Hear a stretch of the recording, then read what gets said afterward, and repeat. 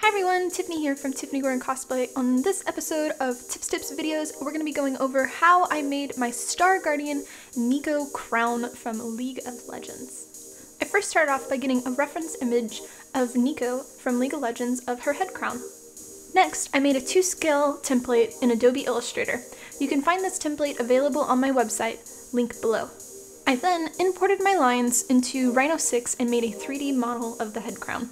Once I was happy with my 3D model, I then printed it in PETG material on a 3D printer. My printer, though, at the time had a loose wire, which caused the prints to have a little bit of some issues, to say the least, and so I had to clean them up using a sanding drum. To remove the stair-step look that 3D printers have, I covered the entire piece in DAP flexible spackling. Once they were dry, I then sanded each piece. For even further stair-step removal, I sprayed a coat of sandable spray paint, and again sanded the pieces once they were dry. Next, I cut clear acrylic rods with a jeweler saw, and then sanded the acrylic rods. The reason for this is so that way the epoxy has something to grip onto. I then applied epoxy to the sanded part of the clear acrylic rod and inserted the rod into the 3D printed parts and let dry. Next, I masked off areas in preparation for painting. I first started off by painting a black coat of airbrush paint, and then followed by a bronze gold color. Once they were dry, I masked off the painted areas and then airbrush painted a base coat of white, followed by an iridescent pearl color. For the main star of the crown, I did a base coat of an iridescent green, followed by gold, once all the pieces were dry, I then removed the masking tape, and then painted the details by hand with black acrylic paint.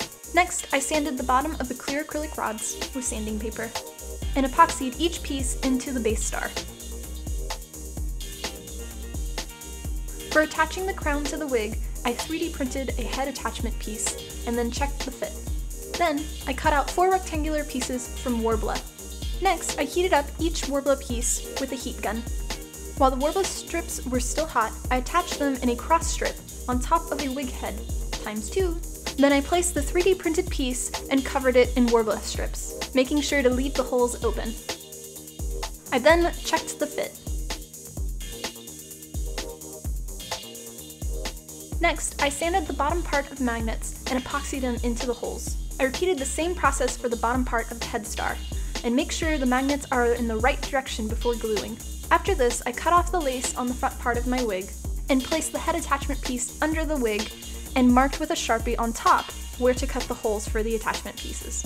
I then used scissors to cut the three holes and pulled through the attachment pieces. To secure the attachment piece in place, I applied hot glue as well as to help lay the hair down flat. All that was left was to attach the crown to the wig and it was done. And that is how I made my Star Guardian Neeko crown from League of Legends. Thanks for watching this week's episode of Tips Tips videos going over how I made my Star Guardian Neeko crown from League of Legends. And if you like this video, remember to subscribe. Much love!